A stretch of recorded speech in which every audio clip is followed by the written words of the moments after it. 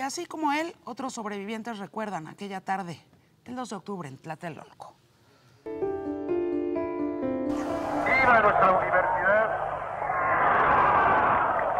¡Viva el Politécnico! El orador que estaba hablando, creo que era el tercer orador, era Eduardo Valle, le decían el búho, y, y Lo- Florencio López Osuna era el, el maestro de ceremonias, frecuentemente interrumpía al orador para informar que el ejército se venía ya desplazando hacia este lugar y que, bueno, que conserváramos la calma.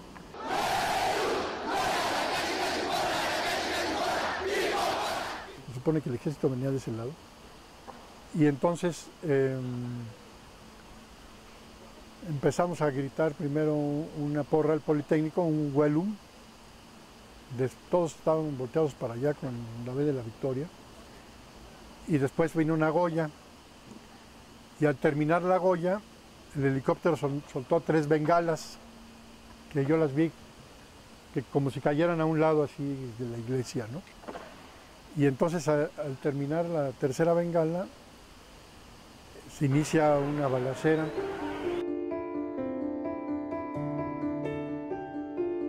Y de repente mi amiga se iba a Durango y estaba lavando en la azotehuela de este edificio y me dice, mira qué curioso está el, el- el- el helicóptero, está echando unas luces de bengala como verdes.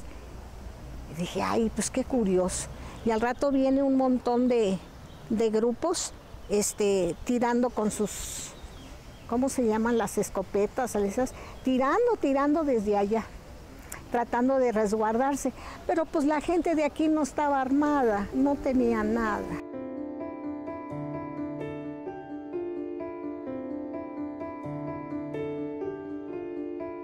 Yo subí al, quinto piso y me metí en la casa de, un compañero del CNH. Ahí fue en el momento en que yo entraba al departamento cuando entraron la- las ráfagas de ametralladora procedentes de la plaza, disparadas por el ejército uniformado contra el edificio. Yo creo que duró más de dos horas eso. ¿eh? Los gritos de la gente, los balazos, eh, subían y bajaban los muchachitos. Precisamente cuando mi viejito me bajó, me dice, no veas, no veas con mi cuñado, tenían a unos muchachitos este, ahí en, y les están dando una, les estaban dando una golpiza.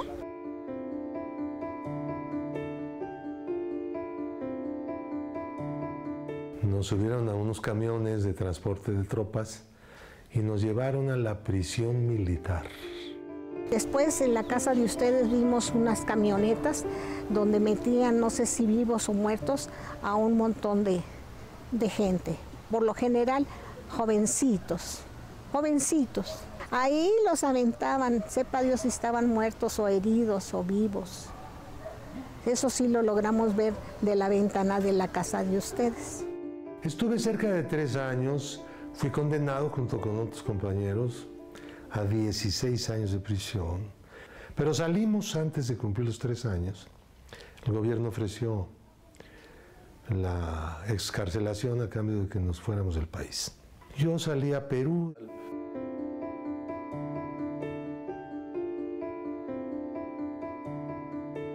El presidente tuvo, bueno, tuvo un papel determinante, el ordenar la represión el 2 de octubre, pero también contó con el respaldo de la comunidad internacional, de eh, Cuba, eh, la Unión Soviética, Estados Unidos, entre otros países. Yo encuentro la documentación que lo demuestra, la importancia, que demuestra que Gustavo Díaz Ordaz fue un agente pagado de la CIA.